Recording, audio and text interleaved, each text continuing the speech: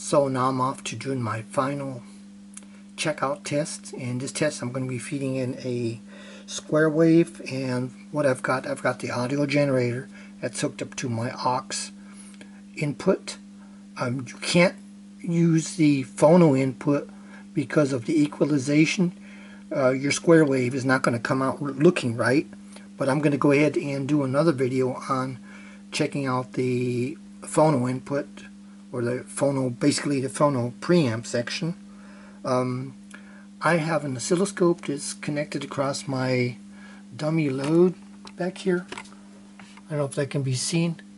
Um, lighting's kind of bad. My test bench is too small. Anyways, I've got two. I have a dual trace uh, oscilloscope, and I've got both probes hooked up across the dummy output, and I've got the my 8 ohm um, load resistors in place.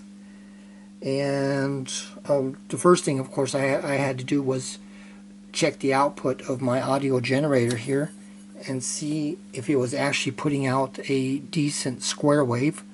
Because right now I'm going to be feeding in a 200 um, hertz square wave. And first thing I did I, I hooked the my oscilloscope straightly up directly up to the audio generator and see if that was putting out um, well your square wave has to be exactly flat on the top and straight up and down. It's basically supposed to be square. Um, and as far as the signal that I'm feeding in, if you want to know about the amplitude, I'm basically I'm right now I'm feeding in about into the aux input a 250 millivolt signal. Of course, it can't be too high because you're going to go into overload, and it can't be too low because um, that's going to basically going to throw you off too. So, um, and also, if you look here at my scope, I like to adjust it so I get about two, basically two cycles. You can see here, I basically got two or or even three, three cycles. I would have to go ahead, let me go ahead and change horizontal here, something like that. So anyways, I like to use two. Oh, and if you're feeding a, a, low frequency signal, you might not be able to see here the, um, basically the vertical traces here going up and down, but that's normal. That's nothing basically to be concerned about with your low frequencies here. And also, for these low frequencies, I put the scope, of course you got your AC or DC input, and I put it in the DC position for low frequencies because if not this is kind of like what happens. You can see I'm already getting the tilt right here which is uh, which would then throw off your results. In fact I can do that to both and if I even go down more in frequency let me go down even more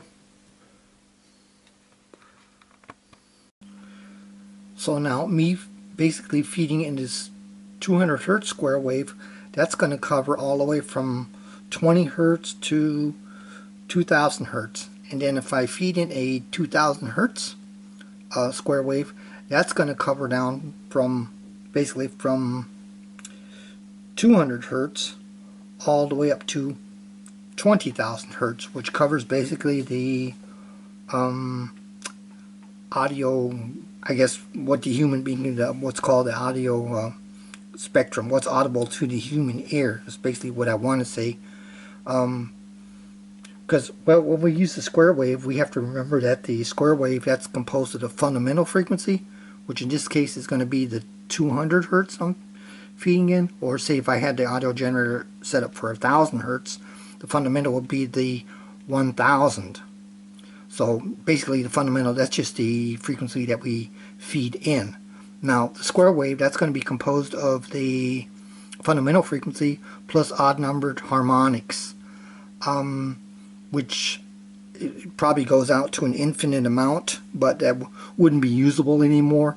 I think it's acceptable to say, okay, um, the odd harm, you can basically go up, I would say up to basically 10 times. So if you're 200 times 10 would be 2,000, or 2,000 times 10 would be 20,000. So, so Now our 200 hertz square wave, that would consist of the original fundamental, again, which would be 200 plus frequencies at 600, because 200 times 3, 3 is an odd number. Or it would be 200 times 5, which would be next up odd number, that would be 1,000. And 200 times, let's see, 200 times 7, that would be the next up then would be 1400 and so on.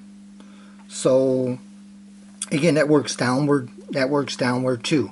So let's go ahead and start out with the 200 hertz square wave. In fact I'm already set up here on my generator times 10 and this is 20 it's 200 and of course my audio generator is in the square wave position.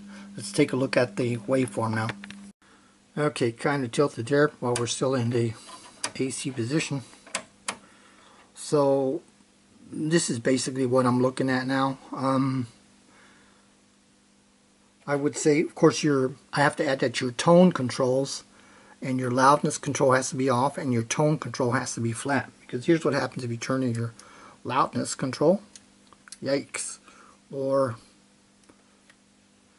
um, now I think I'm messing with the bass control there. And here I'm messing with the um, treble control. And this thing's even got a balance control. You gotta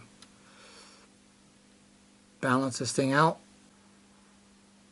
So again, we're looking for a perfectly flat response. And I see one of the channels, the lower channel.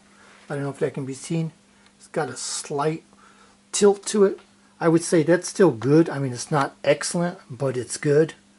And I'm not sure whether I want to go ahead and change all the capacitors out. Most likely that's caused by a capacitor.